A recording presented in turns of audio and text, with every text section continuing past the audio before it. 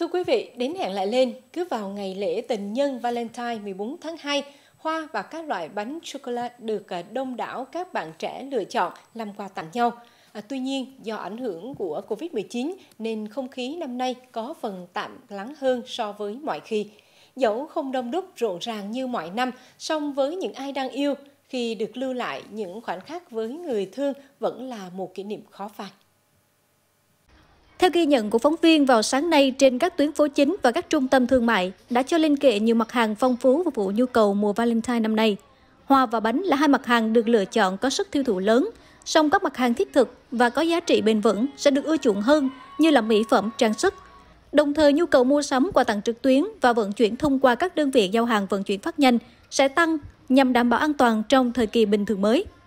Dịp lễ Valentine năm nay, ngay sau kỳ nghỉ Tết Nguyên đán nhâm dần, nên nhu cầu về hoa lớn dẫn đến tình trạng khan hiếm hàng.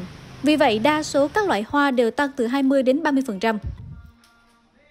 Tại vì cũng hay đi mua quà ở đây, thấy năm này là nhiều hàng và chất lượng hàng thì nó lại tốt hơn. Năm này là hội tư Đà Lạt á, dưới kia thì có bánh là bánh sô cô la, bánh trái tim, mà giá cả thì nó cũng bình ổn, nó không có gọi là cao.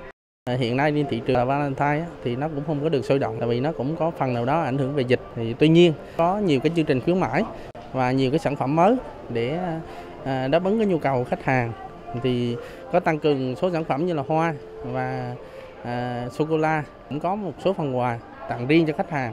Siêu thị vẫn đảm bảo tuân thủ 5K cái yêu cầu của sở công thương.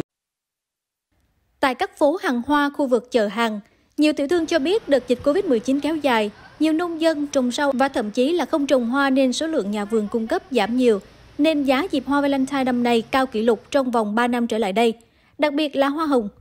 Mọi năm sau vụ Tết thì giá hạ nhiệt nhưng năm nay duy trì ở mức cao.